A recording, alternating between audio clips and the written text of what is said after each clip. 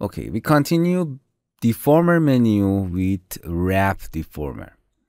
With this wrap deformer, we can bend the object in any direction that we want. Insert a cube and in this situation, we don't hold a shift because if you hold a shift, something like this happen. In wrap deformer, we don't need to holding shift and fit to object.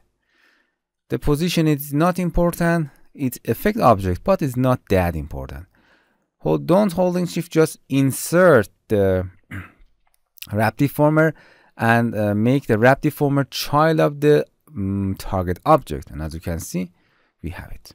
You can change the wrap deformer position. Of course, which uh, we change the uh, scale of the object, but it's not, it's not important. We can change the settings with my, our eyes.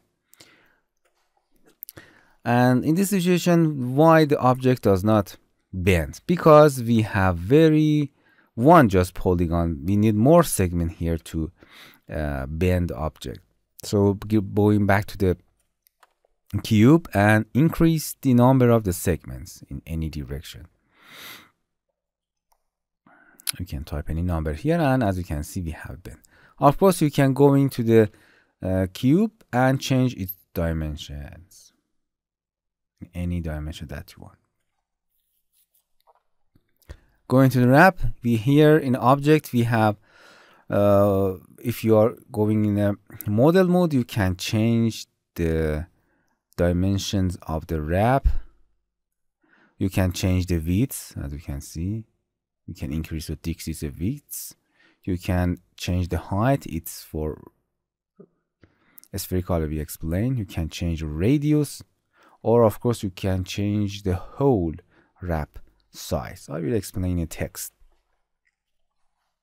in wrap we have uh, wrap mode spherical as you can see you can change this spherical and here you can change the height now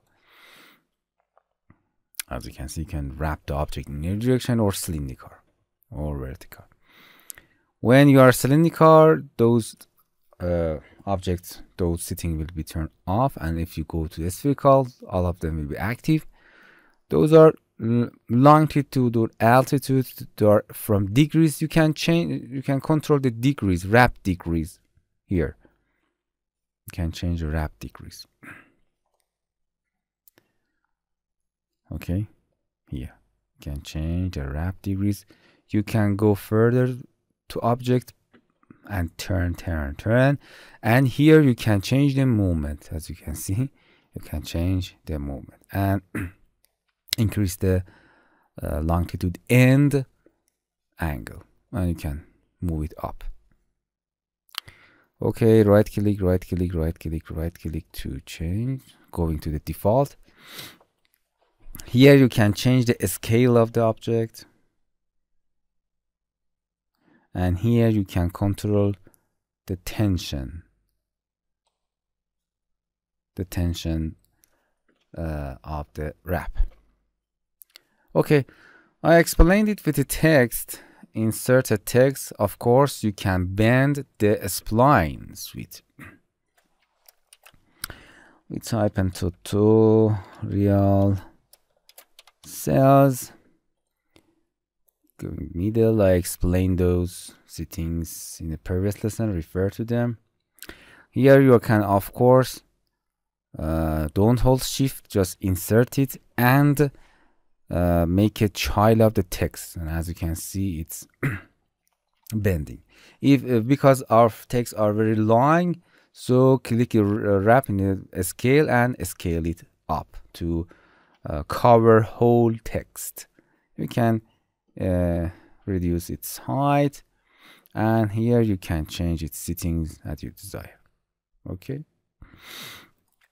You can change the uh, width to uh, our text fit to our wrap okay? You can change your height width and radius to your desired result. Now i want to give an example about or for example you can change the uh, sorry. Longitude and it bend bend bend bend and you can change the movement like this and cause that interesting effect.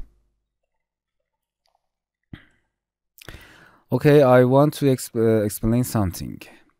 We as you can see we uh, wrap the text and you can uh, hold alt and give the text that bended to the extrude and this will be happen.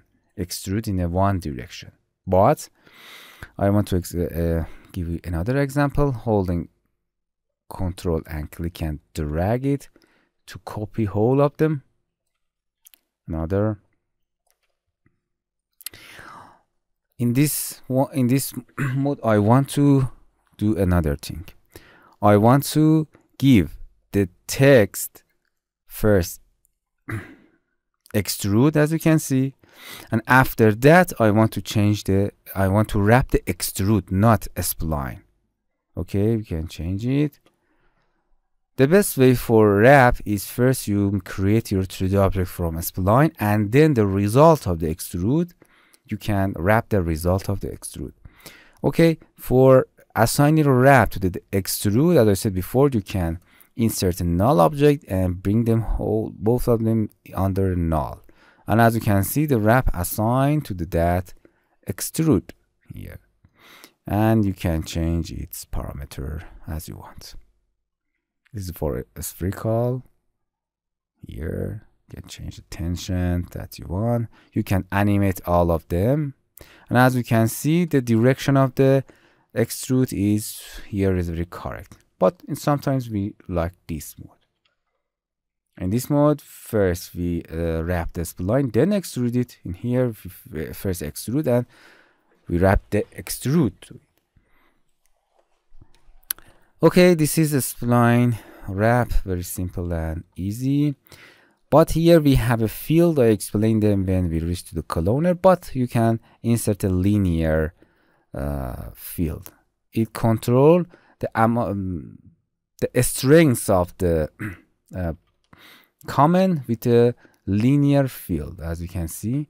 If you reach here with a fall off we here we have in the front of the linear we have 100% of uh, um, comment it's uh, completely bent and if you going to the this field with a fall off you're going to zero percent of comment here you can use any field with any shape. Those are sh changing shape. For example you can change a spherical or any shape that you want. I explain them in detail. Don't worry. Okay. Hello my friends. To continue these tutorials on youtube subscribe us like us and hit the bell icon. And now you will be alerted about all of the amazing videos that we release